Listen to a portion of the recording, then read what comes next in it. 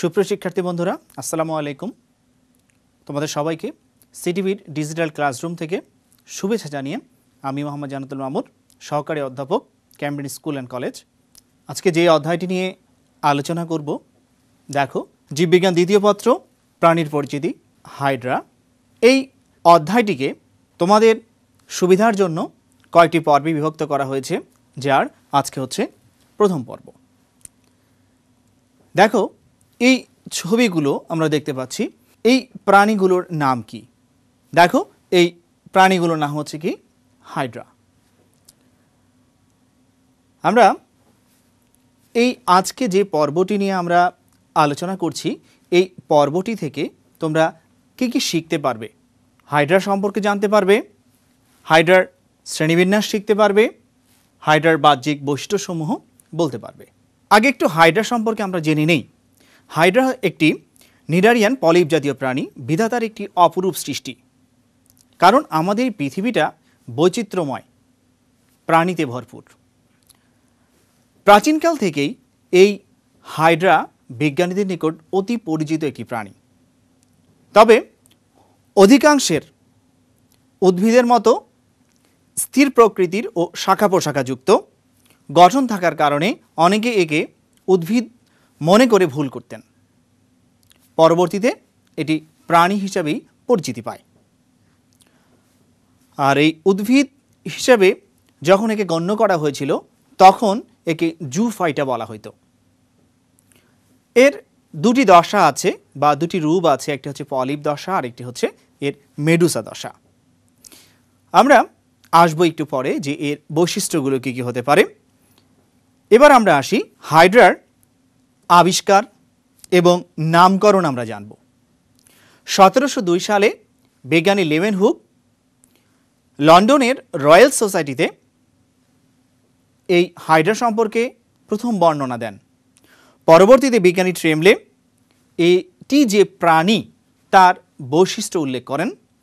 পরবর্তীতে বিজ্ঞানী রিউমার এর নামকরণ করেন পলিপ। সব শেষে তোমরা আরেকটি জিনিস দেখো যে আমরা এখানের ছবি দেখতে পাচ্ছি। এটি গ্রিক রূপকথার একটি দৈত্য। বিজ্ঞানী ক্যারোলাস লিনিয়াস এই হাইড্রাকে এই দৈত্যের সাথে তুলনা করেছিলেন। এই দৈত্যের যদি একটি মাথা কেটে ফেলা হতো, অর্থাৎ একটি মাথা যদি কাটা হয়, তাহলে সেখান থেকে দুটি মাথা বেরিয়ে আসে। ঠিক একইভাবে হাইড্রার কোনো অংশ যদি কর্তন করা হয়, তাহলে ওই অংশ থেকে নতুন আরেকটি হাইড্রার সৃষ্টি হবে। উপরের যে ছবিটি আমরা দেখেছি সেটি হচ্ছে কি একটি দৈত্যের ছবি এবং সেই রকমই দেখো, নিচে আরেকটি ছবি দেওয়া আছে, এটি হচ্ছে হাইড্রার এই হাইড্রা নিডারিয়া পর্বের অন্তর্ভুক্ত করা হয়েছে কেন, এটি আমরা এখন জানব। এরা দ্বিস্তরী প্রাণী বা ডিপ্লোব্লাস্টিক প্রাণী। দ্বিস্তর বলতে এটাই বোঝায় যে এদের দেহ হচ্ছে কি অ্যাক্টোডার্ম এবং অ্যান্ড্রোডার্ম দিয়ে গঠিত। মাঝে একটি স্তর আছে, যে স্তরটিকে বলা হয় মেসোগ্লিয়া। অর্থাৎ, প্রাণীজগতের যে পর্বগুলো আছে, এই পর্বগুলোর মধ্যে এই নিডারিয়া পর্বের পরবর্তী থেকে, অর্থাৎ প্লাটিয়াল মেন্থিস থেকে শুরু করে কর্ডাটা পর্যন্ত যে সমস্ত পর্বগুলো রয়েছে, সব পর্বই হচ্ছে ত্রিস্তরী।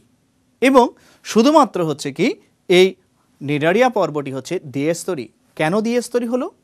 এটি একটি তোমাদের অনুধাবনমূলক প্রশ্ন হতে পারে যে হাইড্রাকে দ্বিস্তরী প্রাণী বলা হয় কেন? তাহলে আমরা উত্তরটি কীভাবে দিতে পারি?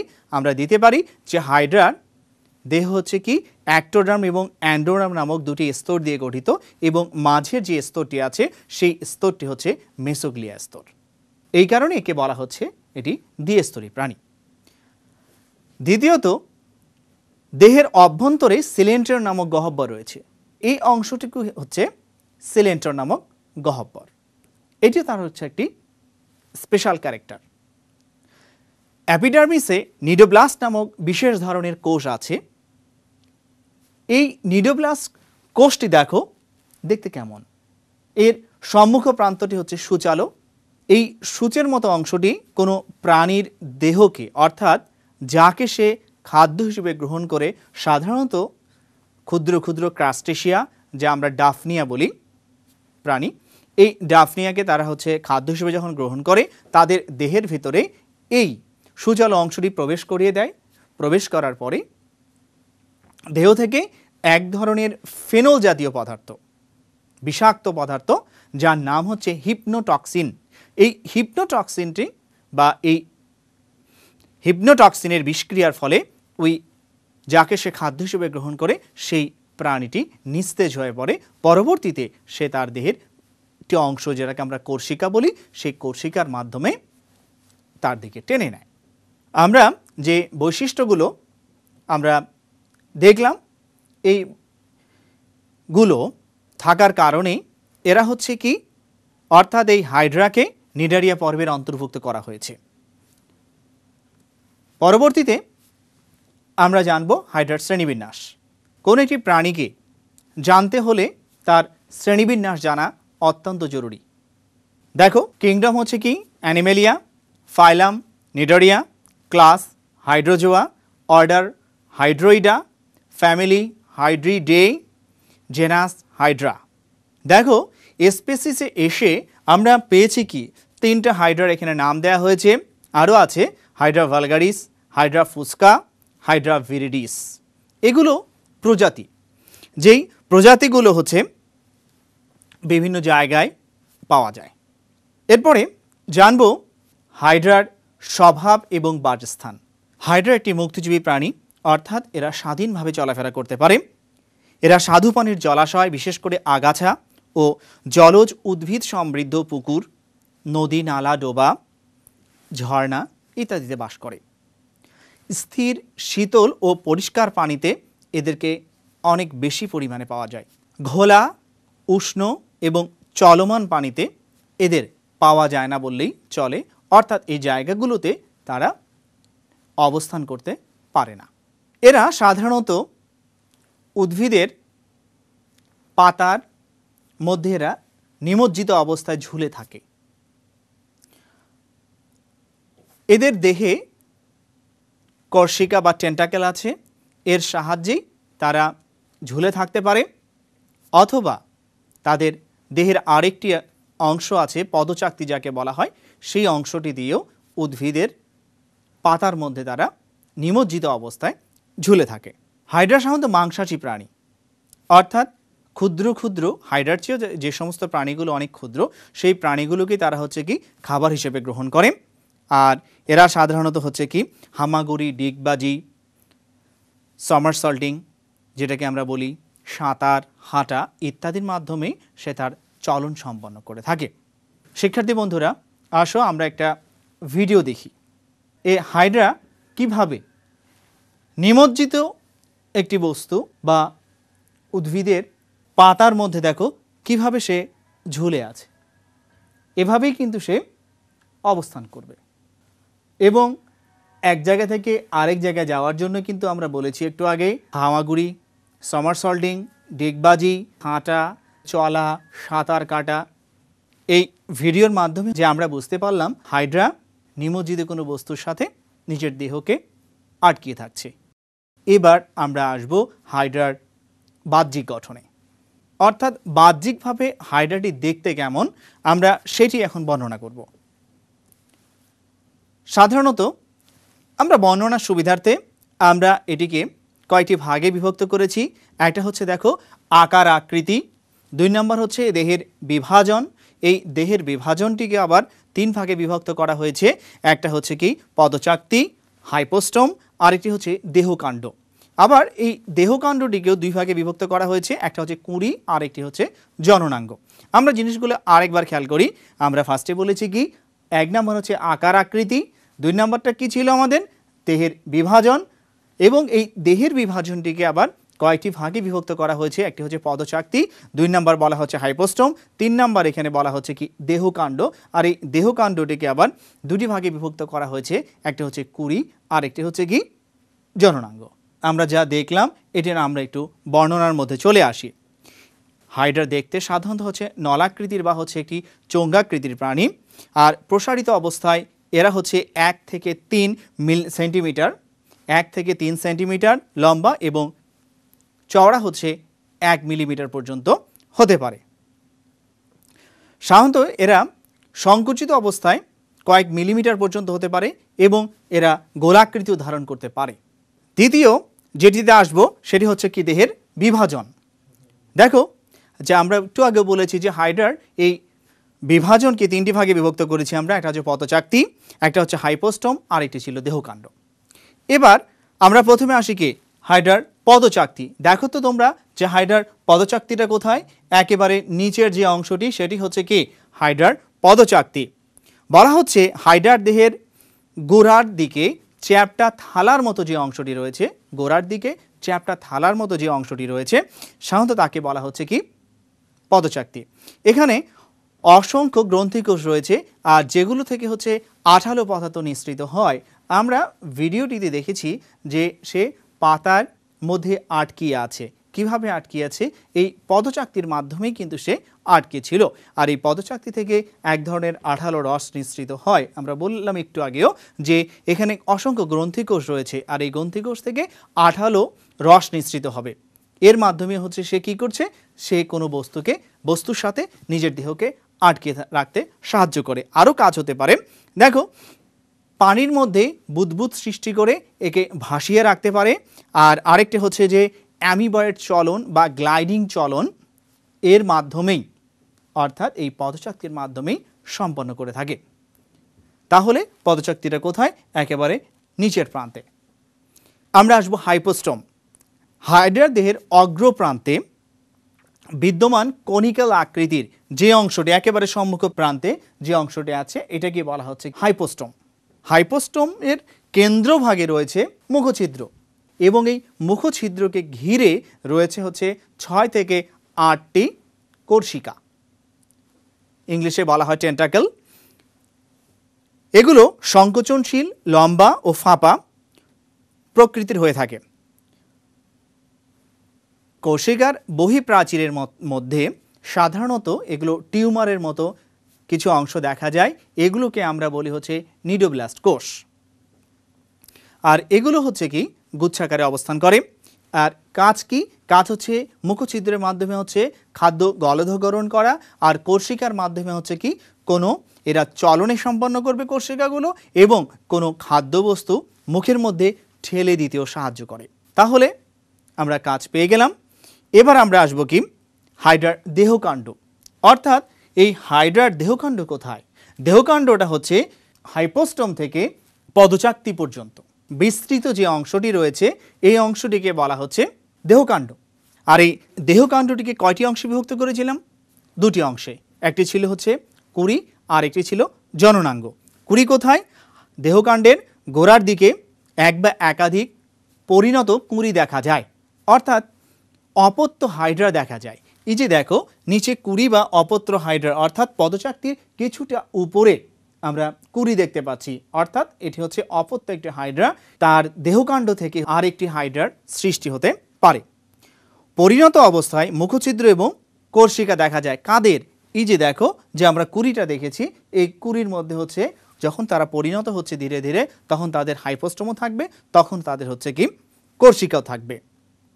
সাধারণত অযৌন পদ্ধতিতে এই কুড়ির সৃষ্টি হয় এবং একটা সময় পরে দেহ থেকে বিচ্ছিন্ন হয়ে এই কুড়িটি একটি নতুন হাইড্রার সৃষ্টি করবে এবং এই হাইড্রাই হচ্ছে পরবর্তীতে স্বাধীনভাবে সে মাতৃদেহ থেকে বিচ্ছিন্ন হয়ে স্বাধীনভাবে জীবনযাপন করবে। এরপরে হচ্ছে কি, জননাঙ্গ। প্রজনন ঋতুতে হাইড্রার দেহকাণ্ডে জননাঙ্গ দেখা যায়। কোথায়? হাইপোস্টমের ঠিক নিচে। এর যে অ্যাপিডার্মিস বা ত্বকটি আছে ইন্টারস্ট্রিশিয়াল কোষগুলো, এখানে কোষ আছে, যে কোষগুলোকে আমরা ইন্টারস্ট্রিশিয়াল কোষ বলি, এই কোষগুলো দ্রুত বিভাজিত হবে। বিভাজিত হয়ে শুক্রাশয় এবং ডিম্বাশয় সৃষ্টি করে। আর এগুলো দেখতে সাধারণত হচ্ছে ডিম্বাশয় যেটি, সেটি হচ্ছে গোলাকৃতির এবং এই যে শুক্রাশয় এবং ডিম্বাশয়, এগুলো হচ্ছে তাদের অস্থায়ী অঙ্গ। অর্থাৎ শুধুমাত্র প্রজনন ঋতুতেই হচ্ছে এই অঙ্গগুলোর সৃষ্টি হয়। অন্য কোনো সময় এটি সৃষ্টি হবে না। এগুলো শুধুমাত্র সৃষ্টি হবে তাদের হচ্ছে কি অনুকূল পরিবেশে। অর্থাৎ পরিবেশ যদি তাদের পক্ষে থাকে, তখনই তারা এই পদ্ধতিতে কি করতে পারে? প্রজনন তাদের সম্পন্ন করতে পারে। কাজগুলো কি কি? এটি হচ্ছে অর্থাৎ দেহকাণ্ডের যে কাজটি, সেটি হচ্ছে বেঁকে চলনে সহায়তা করে। তারপরে বলা হচ্ছে জননাঙ্গ এবং কুড়ি সৃষ্টি করে আর পুনরুৎপত্তি ক্ষমতা আছে। অর্থাৎ একটা থেকে আরেকটির সৃষ্টি করতে পারে। প্রথমেই আমরা বলেছিলাম যে হাইড্রার কী ছিল? সিলেন্ট্রন ছিল। সিলেন্ট্রন কি মনে পড়ে? সিলেন্ট্রন কাকে বলেছিলাম? হাইড্রার দেহ গহব্বর। অর্থাৎ আমরা কি বলছি? এই যে ছবিতে আমরা দেখতে পেলাম যে রাউন্ড করা যে অংশটি, সেটি হচ্ছে কি? হাইড্রার সিলেন্ট্রন এটি কাকে বলে?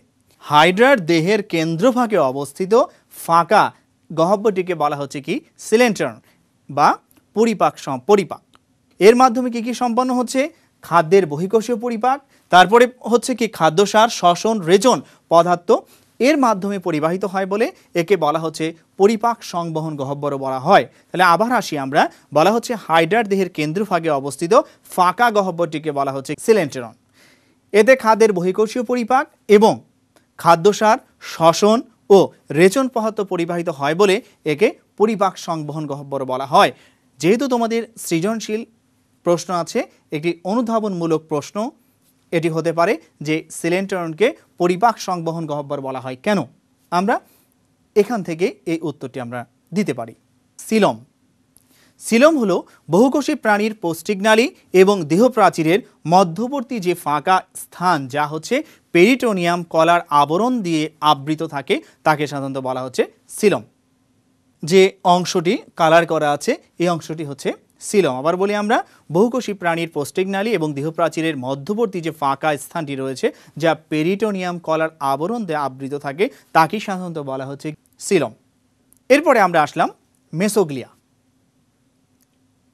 আমরা বলেছিলাম যে মেসোগ্লিয়াটা কি? হাইড্রার, অর্থাৎ নিডারিয়া পর্বের যে বৈশিষ্ট্যগুলো আমরা বলেছিলাম, সেই পর্বের বৈশিষ্ট্যগুলোর ভিতরে প্রথম যে বৈশিষ্ট্যটি ছিল, সেটি ছিল কি? এর এদের দেহ অ্যাক্টোডার্ম এবং অ্যান্ডোডার্ম নামক দুটি স্তর দ্বারা গঠিত। এই স্তর দুটির মাঝখানে কি রয়েছে? মেসোগ্লিয়া রয়েছে। আমরা সেই মেসোগ্লিয়াটি আমরা এখন পড়ব। হাইড্রার দেহপ্রাচীরের অ্যাপিডার্মিস ও গ্যাস্ট্রোডার্মিসের মাঝে স্যান্ডউইচের মতো অবস্থিত প্রায় জিরো পয়েন্ট ওয়ান মাইক্রন পুরুত্ব বিশিষ্ট, স্বচ্ছ, স্থিতিস্থাপক ও জেলির মতো। আঠালো পদার্থকে সাধারণত বলা হচ্ছে কি? মেসোগ্লিয়া। আর মেসোগ্লিয়া হচ্ছে প্রোটিন নির্মিত একটি ম্যাট্রিক্স পদার্থ। মেসোগ্লিয়ার কাজ কি হতে পারে? মেসোগ্লিয়ার কাজ হচ্ছে কি? অ্যাপিডার্মিস এবং গ্যাস্ট্রোডার্মিসের কোষগুলোর ভিত্তিতল হিসেবে কাজ করে। অ্যাপিডার্মিস এবং গ্যাস্ট্রোডার্মিসের কোষগুলোর ভিত্তিতল হিসেবে কাজ করে। দ্বিতীয় হচ্ছে কি? প্রাণীর দৈহিক কাঠামো নির্মাণ করে। প্রাণীর দৈহিক কাঠামো নির্মাণ করে। আর তৃতীয় হচ্ছে স্থিতিস্থাপকতা প্রাণীর কোষিকা এবং দেহের সংকোচন প্রসারণে সাহায্য করে। এতক্ষণ আমরা যা করলাম তোমাদেরকে সেখান থেকেই ছোট্ট কিছু আমি প্রশ্ন জিজ্ঞেস করি। সিলেন্ট্রন পরিপাক সম্বর বলা হয় কেন? মেসোগ্লিয়া কি? তৃতীয় হচ্ছে দ্বিস্তরী এবং ত্রিস্তরী প্রাণী বলতে কি বুঝো? আমরা বলেছিলাম যে নিডারিয়া শুধুমাত্র পর্বটি হচ্ছে দ্বিস্তরী। নিডারিয়ার পরবর্তী থেকে, অর্থাৎ প্লাটিহিল মেন্থিস থেকে শুরু করে কর্ডাটা পর্যন্ত যতগুলো পর্ব রয়েছে, এই পর্বগুলোকে আমরা সাধারণত বলি হচ্ছে ত্রিস্তরী পর্ব, অর্থাৎ অ্যাক্টোডার্ম, মেসোডার্ম এবং অ্যান্ড্রোডার্ম দিয়ে। গঠিত। তোমাদের এটি বাড়ি কাজ দিলাম। বাড়ি কাজটা কি দেখো তো? হাইড্রার শ্রেণীবিন্যাস লিখো। দ্বিতীয় হচ্ছে হাইড্রার বাহ্যিক গঠন বর্ণনা করো। আশা করি এই প্রশ্ন দুটি তোমরা উত্তর দিতে পারবে। যেতে যেতে একটি কথাই শুধু বলতে চাই যে আমাদের এই পৃথিবীতে বিচিত্র, অনেক সুন্দর সুন্দর প্রাণী আছে। যেই প্রাণীগুলোকে রক্ষণাবেক্ষণ করা আমাদের দায়িত্ব এবং কর্তব্যের মধ্যে পড়ে যায়। আশা করি তোমরাও এই সমস্ত সুন্দর সুন্দর প্রাণীগুলোকে তোমরা রক্ষণাবেক্ষণ করবে। আমরা আজকে হাইড্রার প্রথম পর্ব পড়লাম। পরবর্তীতে তোমাদের সামনে আমি আবার হাইড্রার দ্বিতীয় পর্ব নিয়ে আমি হাজির হব। সে পর্যন্তই তোমরা ভালো থাকো, সুস্থ থাকো। ধন্যবাদ।